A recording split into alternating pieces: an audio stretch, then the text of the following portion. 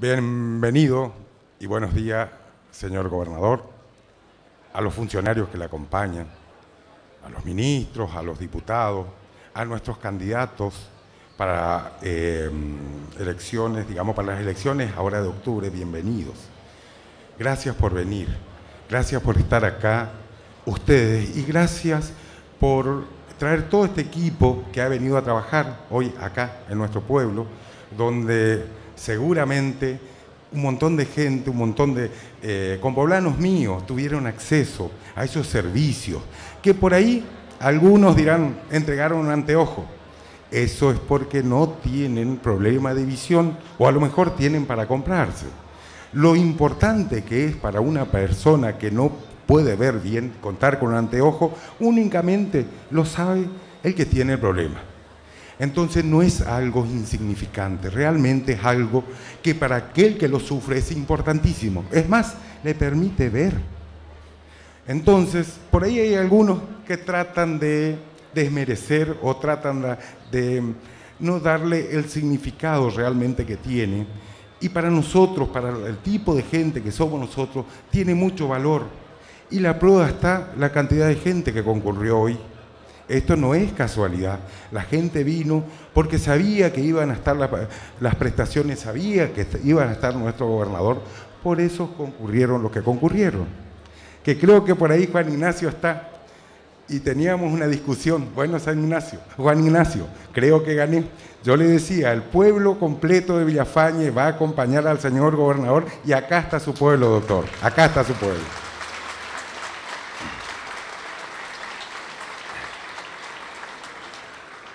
Yo le decía anoche al doctor Ferreira que la otra vez cuando vino el gobernador y vinieron los ministros nacionales, que yo me había puesto nervioso.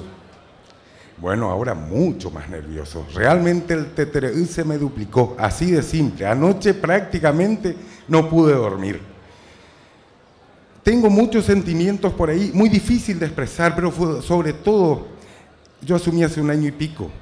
Y cuando yo asumí, yo fui a hablar con el doctor Ferreira y no voy a relatar lo que agarré porque creo que todo el pueblo sabe y seguramente los funcionarios saben. Y yo tenía esa esperanza, esa ilusión de poder cambiar la realidad de nuestro pueblo. Y me encontré con una eh, cuestión presupuestaria que prácticamente era imposible. Entonces hoy le hago el planteo al doctor Ferreira. Doctor Ferreira, le digo, fíjese, esta es la situación, estos problemas tengo que resolver y no hay la plata. Y él me dijo algo que hoy entendí.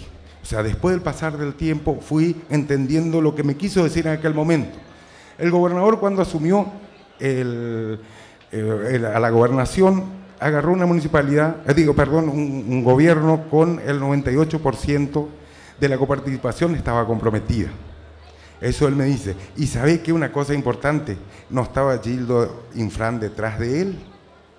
Vos ese es el privilegio y, la ventaja que tenés. Y así fue, señor gobernador, porque desde el primer día, desde el primer día, lo único que recibí de, usted es acompañamiento, a través de usted personalmente, a través de todos los funcionarios, y en, y en este tiempo hemos hecho cosas que por ahí algunos le tratan de buscar la quinta pata al gato.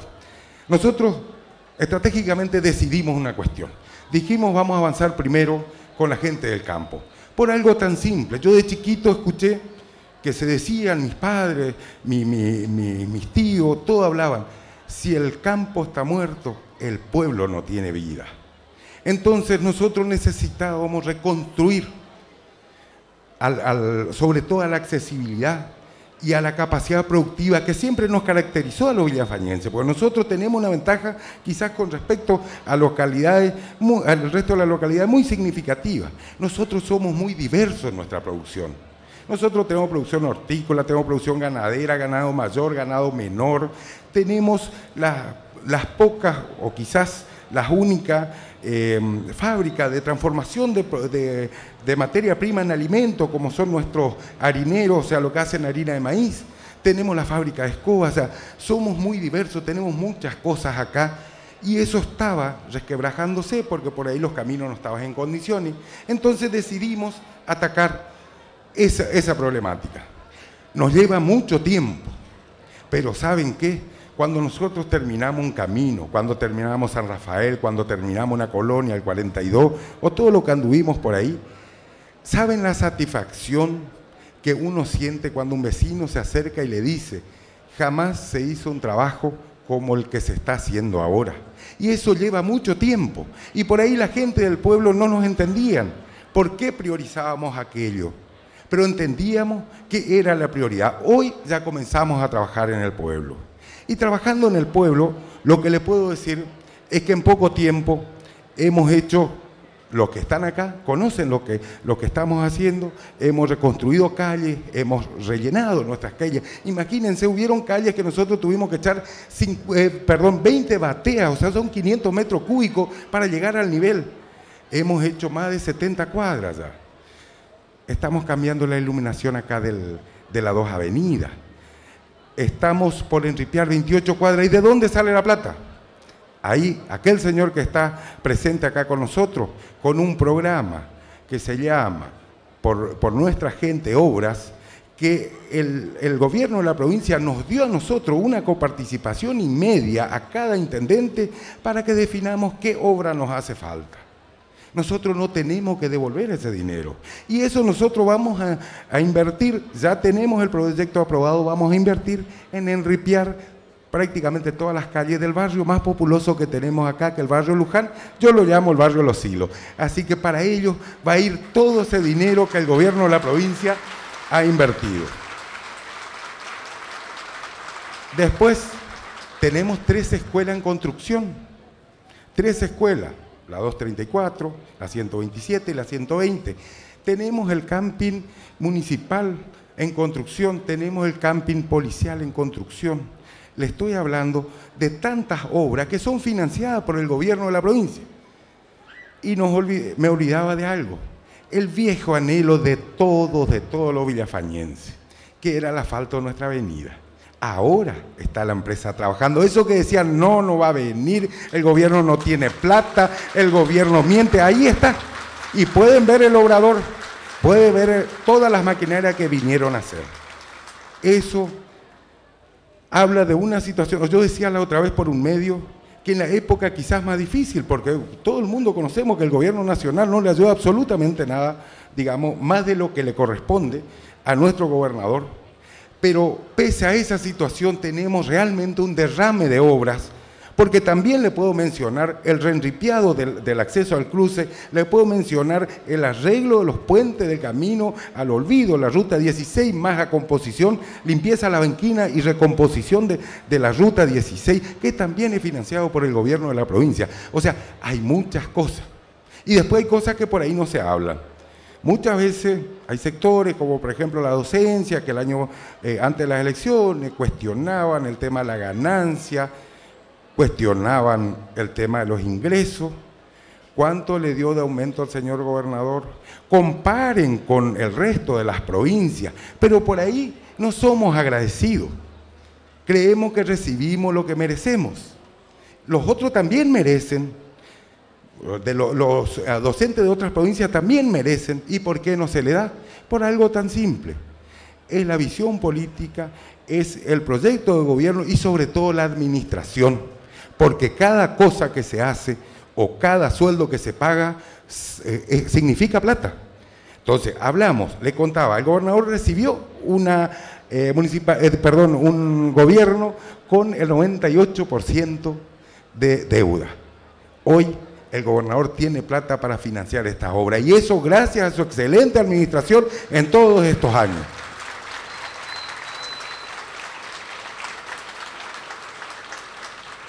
Hoy, hoy recibía, a lo mejor para algunos mm, no le resulta importante o por ahí no conoce, de lo que representa esa sembradora que se le entregó a los productores hortícolas. Eso fue un pedido personal que le hice al doctor ¿Y por qué digo que muchos no entienden esta cuestión? Porque por ahí escucho que los peronistas fabricamos vagos, que nosotros agarramos para que la gente no trabaje, le preparamos la tierra, para que la gente no trabaje, le sembramos. O sea, todos los servicios que el Estado provincial y los estados municipales, digamos, le brindamos a la gente, dicen que creamos vagos. Qué equivocados que están. Lo que nosotros como concepción peronista e ideológica, lo que sostenemos es mejorar la calidad de vida de la gente. O sea, es inaudito que en el siglo XXI un productor siga todavía con el, aradito mancera o con, el, con el cultivador con caballo. ¿Para qué se inventaron las máquinas? Justamente para reemplazar el trabajo rústico de las personas. Y con estas, o sea, un pequeño productor de dos o tres hectáreas, es imposible que pueda comprar un, tractor, o sea, es, eh, no hay forma. Pero sí el Estado puede facilitarle las cosas, porque con un tractor preparamos a un montón de productores y hoy en Villafañe nosotros vamos a llegar al objetivo de sembrar mil hectáreas de maíz entre los pequeños productores, donde gran parte de esto ya está sembrado o ya se entregaron las semillas.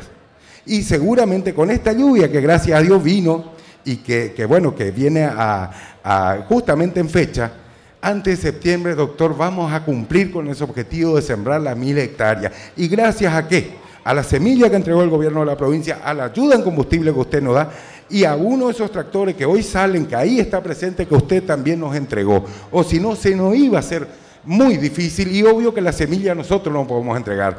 Muchos le quitan valor. Creo que 2.500 cuesta cada bolsa de semilla. Multipliquémosle por cuatro toneladas de maíz cuánta plata genera esa bolsa de semilla. Y eso es lo que nosotros buscamos los peronistas, hacer que la gente mejore esos ingresos. A veces solos no pueden, o sea, a veces no tienen el dinero para ir a comprar la semilla. Entonces lo que hacemos es darle, facilitarle para que genere esa riqueza que, por ahí uno se hace los números. Esas mil, mil eh, bolsas de semilla que se entregaron son dos millones y medio de pesos a cuatro toneladas, multipliquen cuántas toneladas de maíz vamos a producir los villafañenses. Antes, ¿qué ocurría? Teníamos que ir a buscar en otro lado. Ahora vamos a cosechar nosotros. Es más, le doy una novedad, que no sé, a lo mejor todavía, digamos, está encausado, pero creo que se va a definir. Vamos a buscar la forma que contemos en nuestra localidad con una cosechadora para que estos productores que sembraron tengan la posibilidad que desde acá mismo se le pueda cosechar. Van a decir, más vagos otra vez, mentira. En realidad, yo quiero que se vayan al maizal en enero y febrero, aquellos que prueben una vez estar ahí en medio, que te pica de, pie a cabeza y es que te corra la transpiración, vamos a ver si son vagos los que creamos. Generalmente hablan lo que no saben y ustedes saben que yo de esto conozco absolutamente todo. Para cerrar, le quiero contar algo. El otro día le mandé un mensaje al gobernador y le agradecía por todas estas obras. Y él me contestó diciéndome que para mí, para él, era un placer ayudar a alguien que trabaja. Yo le quiero corregir, señor gobernador. Yo no soy el que trabajo. El que trabaja son los empleados municipales, son eh, los Marito Garay, los Anel, toda esa gente, todo ese equipo que hoy sale a la calle, sale a trabajar y hoy estamos cambiando la realidad. Para ellos realmente viene, para todo mi pueblo viene esta ayuda que ustedes nos están dando. Así que a, e, a mis empleados municipales, que estoy inmensamente agradecido, yo le pido a todos, a todos, porque en realidad muchas veces se lo como que se lo baja de categoría. Y es el que nos limpia al pueblo, es el que nos ordena al pueblo. Así que yo le pido entre todos que le demos un fuerte aplauso a todos los empleados municipales.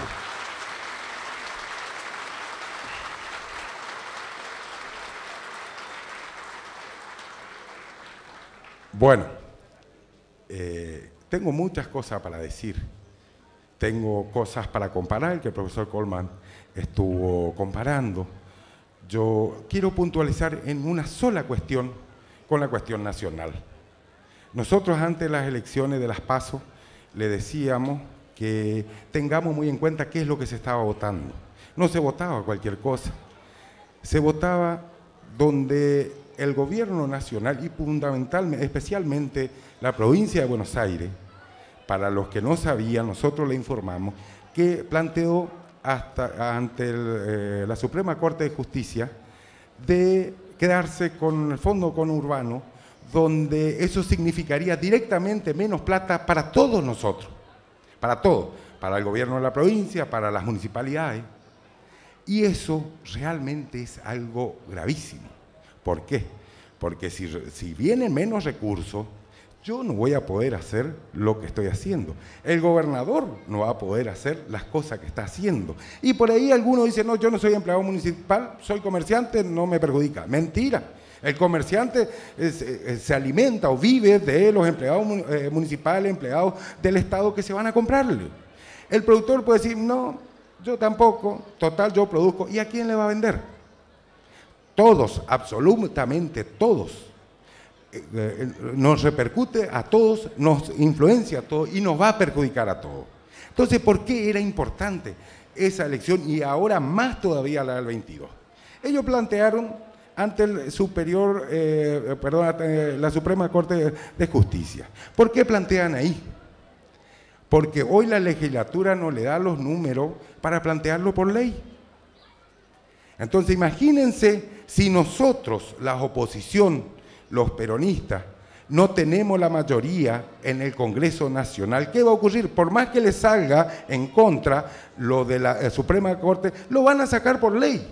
Y eso significaría un caos para todos nosotros. Entonces, coincido plenamente con, con el profesor Coleman que esto en realidad no hay que defenderle al gobernador, no hay que defenderme a mí. Tenemos que defendernos todos. Cada uno se va a defender en esta elección lo que va a hacer es defender su cuero. Esa es la realidad. Porque si llega a ocurrir lo que plantea la gobernadora de la provincia de Buenos Aires, ahí sí Camonte mató. Esa es la realidad de las cosas. Eso por ahí los medios nacionales ni hablan. Hablan del planteo, nadie habla de lo que va a ocurrir con las provincias, no únicamente nosotros, seguramente a la provincia del Chaco le va a ocurrir lo mismo, a todas las provincias del norte le va a ocurrir lo mismo. Entonces, señores, nosotros tenemos de acá salir convencidos que tenemos un solo camino. Nosotros tenemos que meter los dos diputados nacionales y tenemos sí o sí que, que entren nuestros senadores. Sabemos que uno va a entrar, pero no podemos correr el riesgo de que entre un diputado de ellos. ¿Saben por qué? Ustedes le escucharon a, algunos, al senador o al candidato a diputado, a, pronunciarse. ¿Qué va a hacer si es que ese proyecto se presenta a la Cámara? Nada, calladito. Porque ellos no defienden a Formosa, ellos defienden algo tan simple, su cargo nomás. Porque, no sé, hasta hoy desconozco realmente este senador que creo que 16, 18 años que ya va ocupando el cargo. ¿Qué hizo por la provincia? Lo único que hace es sostenerse en el cargo. No le importa cuál es nuestro destino. Por eso yo le invito a todos que tomemos conciencia de la situación, que no es una cosa fácil y se puede llegar a complicar si nosotros, cada uno de nosotros por ahí, no entendemos que este tiene que ser un voto en defensa eh, propia. Y acá, el 22 de octubre, los dos diputados que propone nuestro gobernador tienen que estar sentados en la Cámara de Diputados de la Nación para defendernos a todos a todos. Muchísimas gracias.